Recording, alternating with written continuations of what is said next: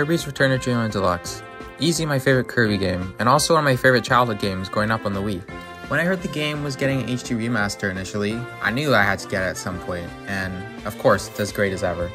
But this video is not a review video. Today, I decided I'd rank all the copy abilities in Return to Dreamland Deluxe, including the two brand new ones for this specific edition, which are Sand and Mecha. And I'm gonna order them into tiers, from F all the way to S. I'll be showcasing my opinions and thoughts on each of the copy abilities based not only on how good I think they are, but also how enjoyable they are to use. Keep in mind I'll only be focusing on the ability in Return to Dreamland specifically, the deluxe version, meaning I won't take into account changes and differences from other Kirby titles. Oh, and one other note. Although I have attributed a number ranking to each ability, they are mostly loosely ranked within each tier. Anyways, with all that being said, I'm TNT Nitro, and let's get right into it, starting with F tier. And to nobody's surprise, the worst ability on my tier list, coming in at number 26, is Sleep. Yeah, there's not much to say about Sleep. It's you literally just take a nap. It's iconic as it shows up in a lot of Kirby games, but you know, you're not using it to take down any bosses. Well, I stand corrected. Starting out D tier with Crash. This is a classic screen wipe, but unfortunately it's the worst one out of the three available in this game. Moving on to 24. Festival.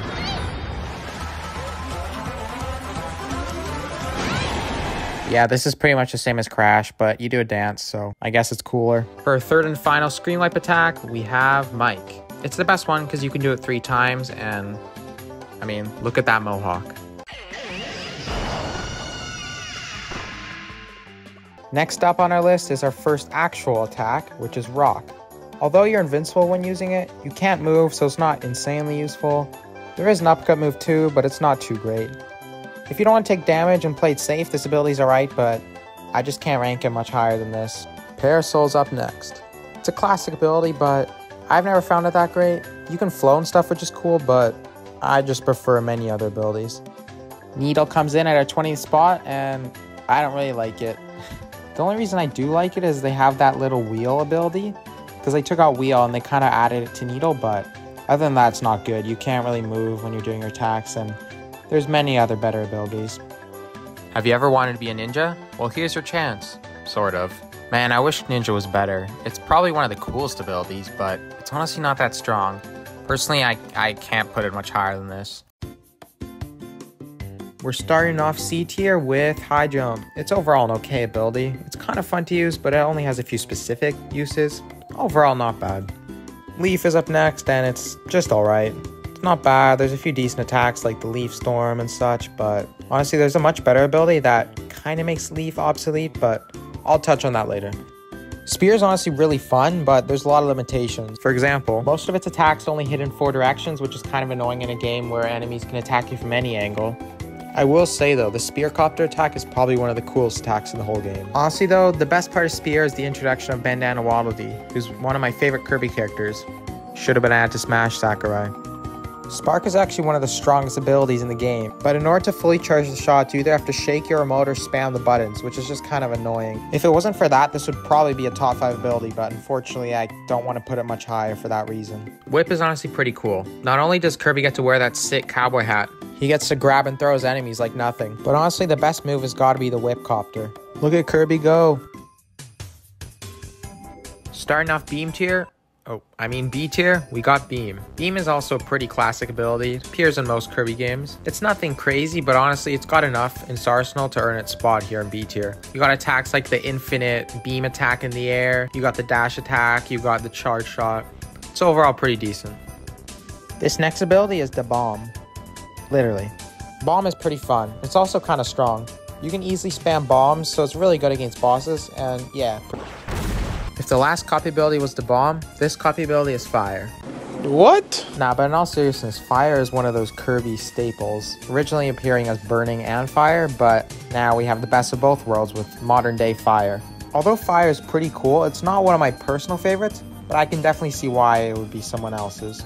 Tornado's pretty sick, honestly. When you're using its primary attack, you're completely invincible, so you don't have to worry about taking damage. The only slight downside I could find here is that sometimes the tornado is a bit hard to control, so it might feel a bit random where you end up. Up next, we got Water, which is a pretty slick ability. For Kirby's running animation, he surfs on the floor, which is super cool, and he can also soup over water. Soup over water? Anyways, water's a super good ability overall. My favorite attack though has gotta be when Kirby jumps in the air and starts spitting down his enemies, dousing them all in water. It's pretty sick. And finally, to close out B tier, we got Hammer. Hammer is honestly a pretty good ability, it's very strong. Just to me personally, I don't think it quite has enough to be in the A and S tier. Okay, I know I've used the term classic quite a few times in this video, but this next ability may be the most classic ability. I'm talking, of course, about Sword. It's always one of the first abilities you get in every game, including Return to Dreamland, and it's always one of the best. Sword's got it all, with fast strikes, upwards and downwards attacks, charge attacks, and even a projectile attack. Definitely one of my go-tos in Return to Dreamland.